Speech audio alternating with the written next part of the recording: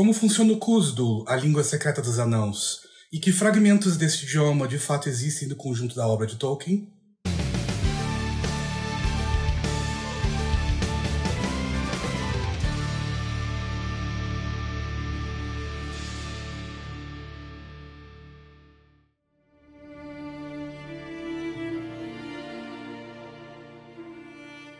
My Govanen Tolkien Talkers, sejam bem-vindos ao novo episódio do TT Languages.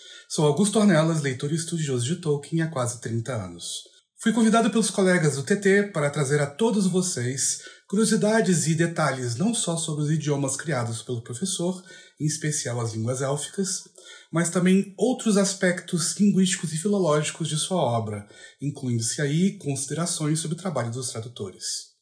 Antes de mais nada, como de costume, peço que deem um like, comentem aqui embaixo, se inscrevam no canal, não se esqueçam de clicar no sininho das notificações e compartilhem esse vídeo com seus colegas.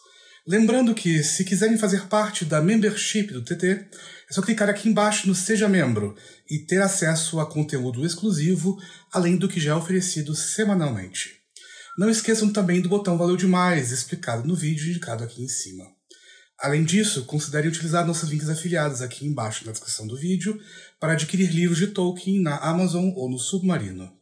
Hoje nos aprofundaremos no Cusdo, a língua dos anãos. Veremos não só um pouco de sua estrutura, mas também teremos a oportunidade de saber exatamente o que Tolkien deixou desse idioma em sua obra. Como demonstraremos em breve, é muito pouco, por volta de 40 palavras, além de pequenas variações e nomes compostos dessas raízes. Diferentemente do Quenya e do Sindarin, certamente está longe de ser o suficiente para entendermos bem como a língua funciona e como dizer mais que uma ou outra palavra. Aqui no TT, nós já falamos sobre a história desse idioma que os anãos tratavam com tanto segredo perto de outras raças. Nesse TT aqui do meu lado, o Sérgio fala sobre tudo isso em bastantes detalhes. Não deixe de assistir. No vídeo de hoje, eu proponho entendermos um pouco mais sobre o pouco que sabemos da estrutura e gramática dessa língua, e como são tão poucas, listarmos todas as palavras em cúsdulo que Tolkien nos deixou em seus livros. Nos focaremos nas palavras isoladas e raízes, mencionando aqui ou ali alguns compostos entre elas quando pertinentes. Vamos lá? A inspiração de Tolkien para o cúsdulo é bem clara. Exatamente como nas línguas semíticas no mundo primário, isto é, o árabe e o hebraico, na língua dos anãos, as raízes das palavras são, em sua maioria, triconsonantais. O sentido está contido em sequências de três consoantes que, dependendo das vogais que se colocam entre elas e um sufixo ou prefixo aqui ou ali, assumem diversas variações do sentido primário da raiz. Tolkien, em certo momento, comentou sobre essa semelhança, comparando os anãos aos judeus na diáspora e seu uso da língua hebraica.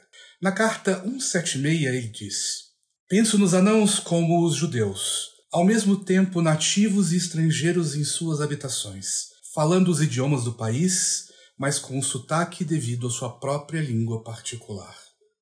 Como Sérgio mostra no vídeo que indicamos há pouco, os anãos adotavam em grande parte do tempo a língua local, seja dos homens, seja dos elfos, e mantinham sua língua própria em segredo, usando-a apenas entre si mesmos, revelando-se muito os nomes que davam os locais, mas nunca seus nomes pessoais. Como funciona essa história de raízes triconsonantais? Vamos a um exemplo do árabe, outra língua semítica. A sequência de consoantes K, T, B encerra o sentido primitivo de escrever.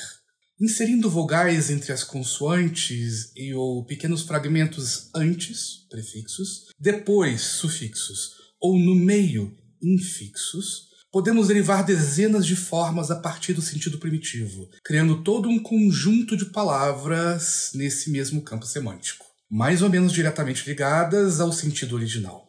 Kataba, com vogais A simples, significa ele escreveu. No presente seria Yaktubu.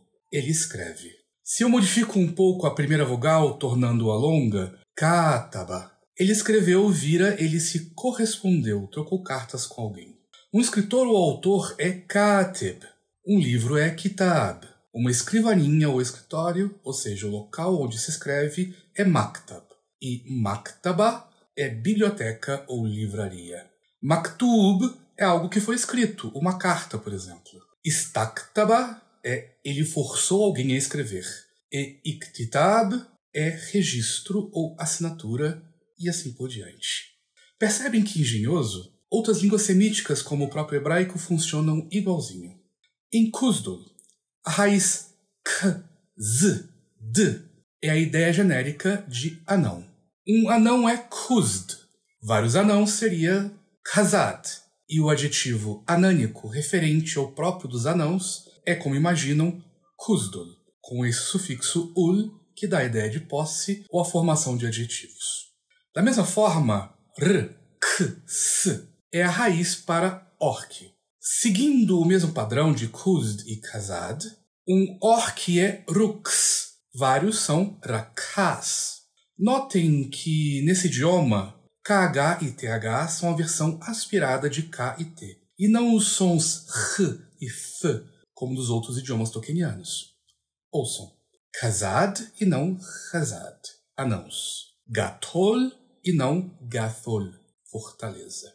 Vamos então à lista de todas as palavras que Tolkien nos deixou neste idioma e alguns compostos. Verão que são muitos poucos vocábulos, infelizmente. Aglab, língua, idioma. Aya, ou ai, sobre, como em Kazad Aimeno, os anãos estão sobre vós. Azan, escuridão, sombra, em Azanulbizar, literalmente Vale das Sombras. Baraz, vermelho ruivo, em Barazimbar, nome anânico da montanha Caradras, nas Montanhas Nevoentas. Bark, machado, plural Baruk, em Baruk Kazad, os machados dos anãos. Bizar, vale. Bizar, riacho, ribeirão, um curso de água que corre em um vale. Bund, cabeça, em Bundushatur, cabeça nas nuvens, nome do pico Fanuidol, próximo ao Caradras, ou Azanulbizar. Duban, outra palavra para vale. Dum, escavação, mansões, salões, conhecido em Casadum. Felak, um instrumento para esculpir pedra, parte de Felakgundo, escavador de cavernas, nome dado pelos anãos a Finrod, irmão de Galadriel, que deu origem à sua alcunha Felagund. Gatol, fortaleza. Gabil, grande, grandioso, em Gabilgatol, grande fortaleza. Gundo, caverna, salão subterrâneo. Iglishmeik, nome da língua gestual usada pelos anãos. Inbar, chifre, em Barazimbar, chifre ruivo, Caradras para os elfos. Keled, vidro, em Keledzaram, nome anânico para o espelhágua, lago a leste de Moria. Khuzd, plural Khazad, anão. Kibil, prata, o nome do rio Kibil Nala, literalmente curso de prata. Celebrant para os elfos, rio que corria do espelhágua até Lórien. Mazarb, registro, documento, conhecido no nome do livro de Mazarbul, ou Livro dos Registros. Nala, curso ou leito de um rio. Naraag, preto, negro. Rux, plural rakas, orc. Chatur, nuvens. Sigin, longo, como em Sigin Tarag, barbas longas. Sulun, ou Salon, cair, descer rapidamente. Tark, cajado, que conhecemos no nome Tarkun, homem do cajado, nome dado pelos anãos a Gandalf. Turg, plural Tarag, barba. Usbad, senhor mestre, da frase Balin Fundinul Usbad Casadumo. Balin, filho de Fundin, senhor de Moria. Usn, variação da raiz, Azan, sombra, escuridão. Zaram, lago, lagoa. Zirak, esporão, ponta. Zigil, de cor prateada, como em Zirak Zigil, outro dos picos nas montanhas nevoentas, perto de Caradras, a que os elfos chamavam Celebdil. E são só essas. Muito poucas palavras, não é mesmo? Deixa aquele gostinho de quero mais. E com isso ficamos por aqui. Postem suas dúvidas e perguntas nos comentários aqui embaixo. Não se esqueçam de deixar um joinha no vídeo, compartilhá-lo e se inscreverem no canal. Se certifiquem de nos seguirem em todas as nossas redes sociais, Instagram, Twitter e Facebook, para saber antes de todos as novidades do Tolkien Talk.